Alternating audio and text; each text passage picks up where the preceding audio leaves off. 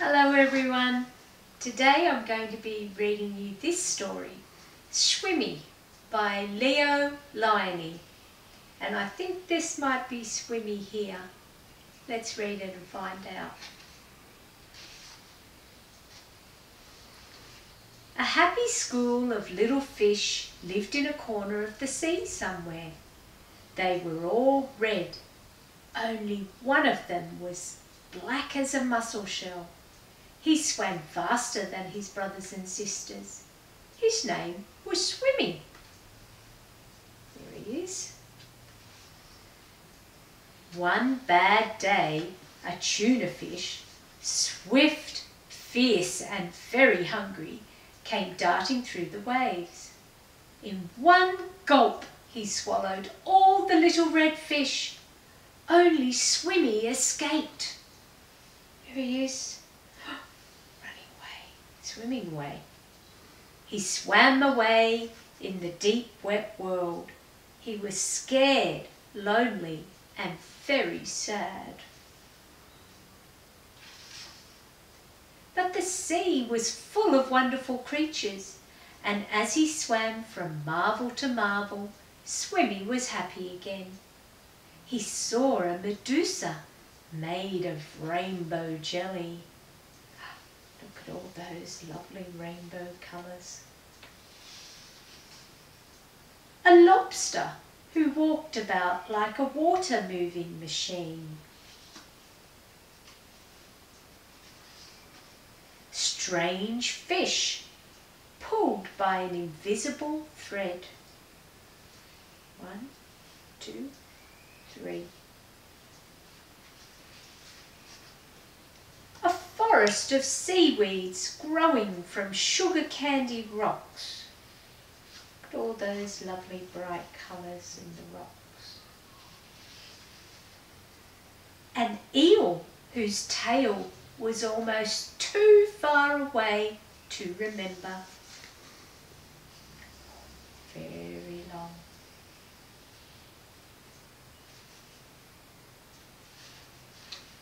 And sea anemones who looked like pink palm trees waving in the wind. There they are. Oh, and some starfish as well. Then Hidden in the dark shade of rocks and weeds, he saw a school of little fish, just like his own. Let's go and swim and play and see things, he said happily. We can't, said the little red fish. The big fish will eat us all. But you can't just lie there, said Swimmy. We must think of something. Swimmy thought and thought and thought. Then suddenly he said, I have it. We are going to swim all together like the biggest fish in the sea. He taught them to swim close together, each in his own place. You see what's happening here? And when they had learned to swim like one giant fish, he said, I'll be the eye. There he is. They look like a big fish.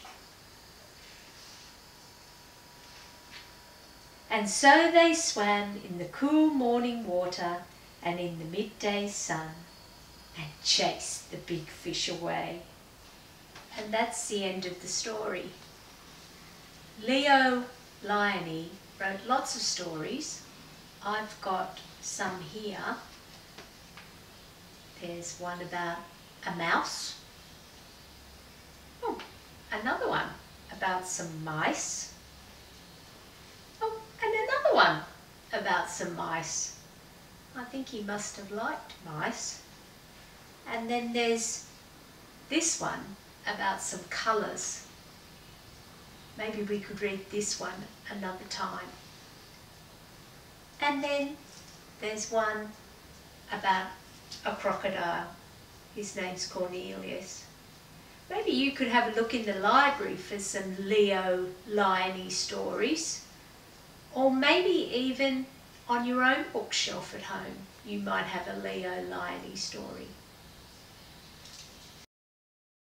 Now we've read the story about swimming, I thought it'd be fun if we made something from the story or something that the story inspired us to make.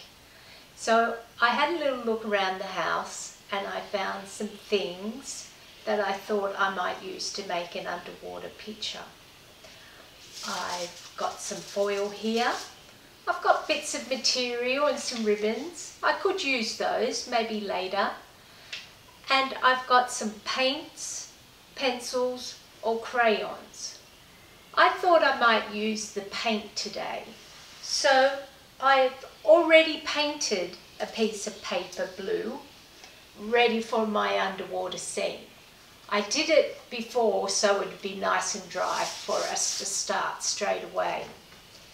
So I'm going to use my big piece of foil to make a fish. It's not going to be swimmy though because what colour was he? Black. But this one's going to be silver.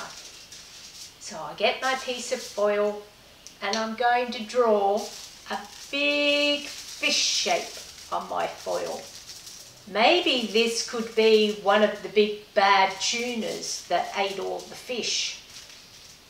And I'll just make a very simple fish shape. There we go. Now, you could get your scissors and cut it out. But what I like to do is I like to do some tearing. And foils, nice and easy to tear and you just tear along the line to make our fish shape. Along the bottom, you have to do it carefully though, you don't want to rip off his tail. And then around the corner there. Now, when I was thinking about what a fish has on its body, I thought, what could I use for some scales? So, I could maybe use this, or maybe this, but then I found this. It's a bit of net that's come off the orange bag from the fruit and vegetables. So what I'm going to do is I'm only I'm going to put it underneath the foil and I'm going to rub over the top. Can you see those lines coming out on my silver fish? They're like all the scales on the fish. I need to move it down here to get some scales on his tail as well. So I've made my fish so I'm going to get my water that I've already painted before and I'm going to paste it onto the page. I'm going to put the paste on the water actually, not on the back of the fish because it's a little bit sticky and the foil tears easily. There we go. Put some paste down and there he is my big silver tuna fish. But I think it would be nice to make a little swimmy to put in my picture. So I'm going to need some black paint. Just a little swimmy fish for my painting as well.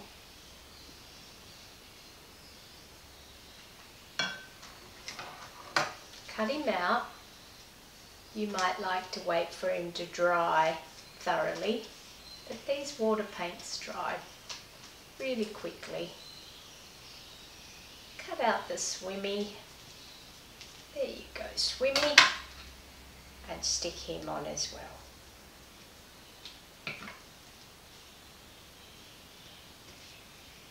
There we go. Two fish from the story. A little swimmy and a big silver tuna fish. Sometimes it's good to go back to the book and look for ideas. You can also look for ideas in other books about fish. I've got some books up here about things that live in the sea and fish. And sometimes it's good to look at pictures of different fish for inspiration. Some lovely stripy fish here. You might like to do a painting or a drawing of some different types of fish. But when I looked back in the swimmy book, I keep thinking, oh, that, um, that jellyfish would be nice to paint with those rainbow tentacles.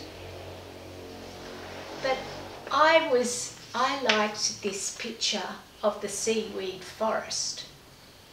And when I was looking through all my scraps, not up there, it's here, I found this old piece of paper doily. Pop that up there. And I thought this pattern on the doily would make a lovely forest of seaweed like there.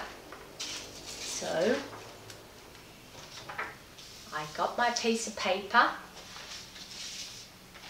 and I lay, just tear that off the doily and I lay it on my paper and I might use some orange this time.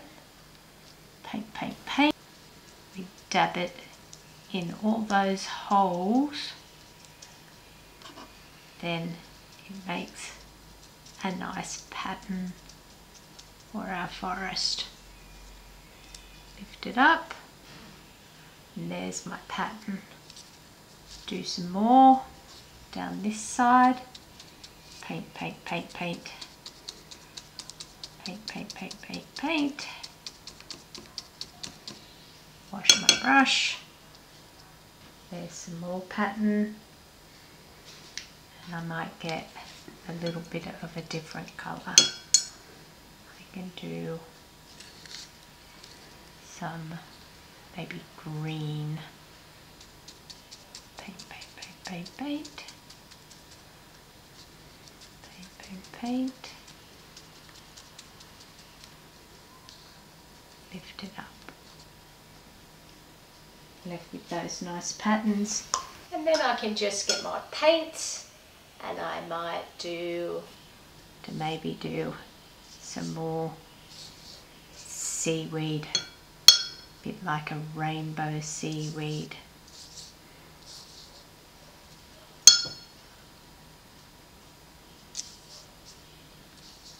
And then if you like I made some little silverfish from before we could add those in as well. Put some paste on the back. We've got one swimming down into the seaweed forest. And here's another little one swimming in the bottom of the seaweed forest. So, a seaweed forest. But you know, you don't have to do what I've done, you can paint anything you like. You can use different mediums, find the things that you have around your house. And maybe you'd like to read a different story and make something out of a different book, whatever you would like. But we'd love to see what you've been making and the stories you've been reading. So if mummy and daddy may be able to take a photo of what you've been doing and send it in to us at preschool. We'd love to see it. All the teachers miss you all and we hope to see you really soon. Bye.